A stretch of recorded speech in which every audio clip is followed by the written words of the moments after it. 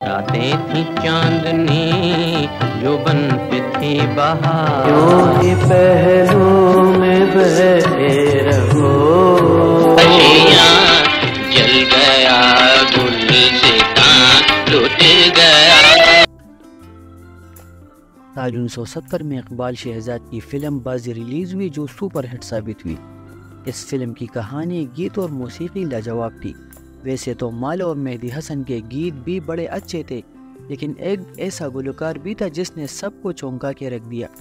रूह में उतरने वाली इस आवाज़ ने अहले मौसीकी को मशहूर कर दिया जिनका नाम था हबीब वली मोहम्मद।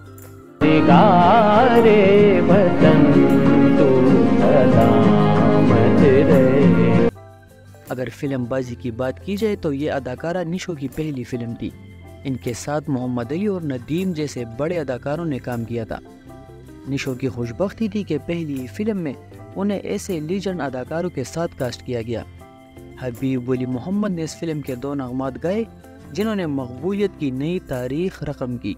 संगीतकार सुहेल राना ने भी अपने फ़न के वो कमालत दिखाए कि उन्हें जितनी भी दाद दी जाए कम है। इसके अलावा मौसीकार भट्टाचार्य ने भी इस फ़िल्म की मौसीकी दी। फ़िल्म के गीत आशिया जल गया गुलिस्तान लुट गया और रातें थी चांदनी जो बन पे थी बहार बेपनाह मकबूल हुए। रातें थी चांदनी जो बन पे थी बहार। इस फ़िल्म के गीत राज अलाबादी वहीद कुरैशी और फयाज हाशमी ने तहरीर किए थे गुलकारों में। हबीब बुली मोहम्मद के अलावा माला आयरन परवीन अहमद रुश्द और मेहदी हसन भी शामिल थे। माला का गए हुआ ये गाना ठहर भी जाओ सनम, और मेहदी हसन का ये गीत दुनिया को अब क्या समझाए? बहुत पसंद किए गए, लेकिन वो हबीब उली मोहम्मद सब पर चा गए। कहना यूँ चाहिए कि जिस तरह फ़िल्म बाजी में स्क्रिप्ट के मुताबिक मोहम्मद अली ने जान की कुर्बानी देकर बाजी जीत ली थी, इसी तरह हबीब उली मोहम्मद ने भी गुलकारी की बाजी अपने नाम कर ली। के संग दिन जो गुजारे हबीब अली मोहम्मद 16 जनवरी 1921 को रंगून बर्मा में मौजूदा म्यांमार में पैदा हुए प्लेबैक गायक के अलावा वो गज़ल गु भी थे और बिजनेसमैन भी। उनका ताल्लुक कदामत फरस्त मेमन फैमिली से था, जो बाद अज मुंबई शिफ्ट हो गई। बचपन में हबीब अली मोहम्मद को कवाली सुनने का बड़ा शौक था, लेकिन फिर उन्होंने निसाबी तालीम को तरजीह दी। उन्होंने उन्नीस सौ सैंतालीस में अमेरिका से एमबीए किया और फिर मुंबई में 10 बरस तक मुकीम रहे। इसके बाद वो पाकिस्तान आ गए। उनके भाई अशरफ ताबानी सिंध के गवर्नर भी रहे। जवानी में हबीब अली मोहम्मद ने उस्ताद लताफ़त हुसैन से क्लासिकी मौसीकी की तरबियत ली। उस्ताद लताफ़त हुसैन, उस्ताद फयाज खान के बेटे थे। कॉलेज के ज़माने में वो मौसीकी की तकरीबात में भरपूर शिरकत करते थे। उन्नीस सौ इकतालीस में हबीब अली मोहम्मद को मौसीकी के एक मुकाबले में पहला इनाम दिया गया इस मुकाबले में बारह सौ गुलकारों ने हिस्सा लिया था और इनमें मुकेश चंद माथुर भी शामिल थे इस मुकाबले में उन्होंने बहादुर शाह ज़फ़र की गज़ल लगता नहीं है जी मेरा उजले दियार में गई जिस पर उन्हें पहले इनाम से नवाजा गया तो उनकी इतमाद में भरपूर इजाफा हो गया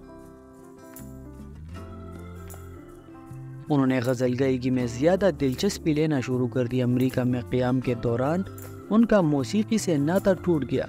वो दश्त तन्हाई के मुसाफिर बन गए और उन्हें मुंबई में मुनद होने वाली मौसीकी की तकरीबात शिद्दत से याद आने लगी। उन्होंने बड़ी कोशिशों के बाद अपनी आवाज़ में गज़लों का ग्रामोफोन रिकॉर्ड तैयार किया और मैदान में आ गए। रिकॉर्ड के एक तरफ़ बहादुर शाह ज़फ़र और दूसरी तरफ़ मिर्ज़ा गालिब की गज़लें रिकॉर्ड की। लेकिन ये उनकी बदकस्मती थी कि भारतीय अवाम ने उनकी वो पजीराई नहीं की, जिनके वो मुस्तक थे और यह रिकॉर्ड फ़रोख्त न हुए। अलबत् उस वक्त की मशहूर भारतीय अदाकारा और ट्रेजडी क्वीन मीना कुमारी उनकी गज़ल गायकी से बहुत मुतासर हुई और चूँकि वो उस वक्त रेडियो सैलून से वाबस्ता थी, इसलिए उन्होंने हबीब साहिब की गज़लें कई बार रेडियो से नशर की। इससे हबीब बुली मोहम्मद के रिकॉर्ड्स की फ़रोख्त में इजाफा हुआ और वो एक नामी ग्रामी शख्सियत बन सौ सत्तर में हबीब बुली मोहम्मद को स्पेशल निगार एवार्ड दिया गया। वो अमेरिका में भी गज़ल की तकरीबात में अपने फ़न का मुजाहरा करते रहे। हबीब बुली मोहम्मद ने तवील उम्र पाई।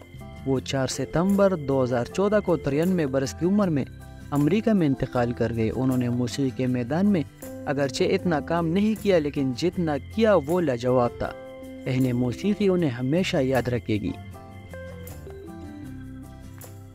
उन्नीस सौ सैंतालीस में तकसीम हिंद के बाद हबीब अली मोहम्मद का ख़ानदान पाकिस्तान आ गया और यह एक सनती ग्रुप कायम किया।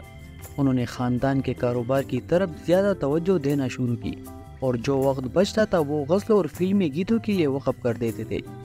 एक बात याद रखनी चाहिए कि हबीब साहब ने मौसीकी को कभी पेशा नहीं बनाया, फिर भी उन्होंने म्यूज़िक कंपनियों के लिए कई गज़लें गाई।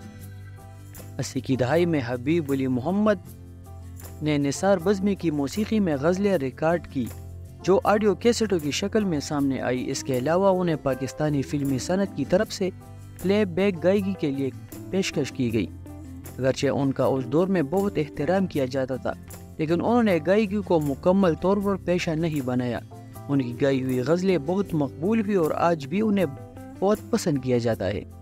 उन्होंने मिली नगमात भी गाए और इन नगमात को भी बहुत सराहा गया। उन्नीस सौ तिहत्तर में फ़िल्म बादल और बिजली के लिए उनके गाए हुए गीत आज जाने की जिद ना करो, ने लाजवाल शोहरत हासिल की।